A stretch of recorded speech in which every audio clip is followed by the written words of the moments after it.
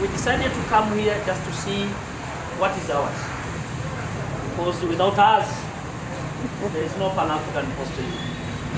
But then we decided before leaving, let us see what is going to be launched by our president at the end of August.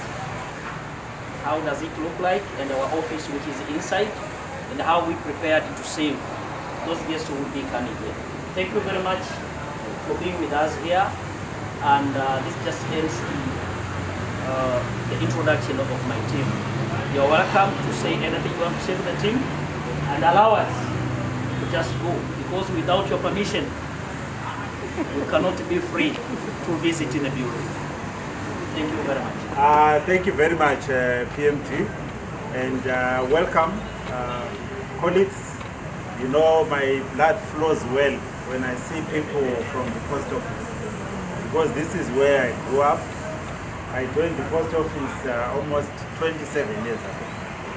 I've done literally everything in the post office, and I am proud to belong there. And uh, we want to welcome you to the Papu uh, headquarters. Uh, this is our humble beginning, and then uh, the rest you can uh, complete the, the story. We, we are quite excited to, to have you here, and um, as Papu, I think we are lucky to be in a country like Tanzania, very friendly, uh, cooperative people and uh, a government that is supportive not only to the sector but also to PAPU as an institution. And as you can see, we have uh, one of the best buildings you can ever come across in Africa, not necessarily Arusha or Tanzania.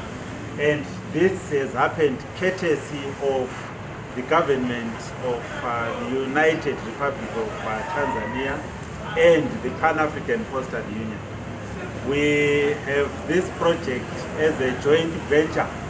Uh, the, the government represented by TCRA and uh, uh, PAPU has 60% and uh, the government has 40%.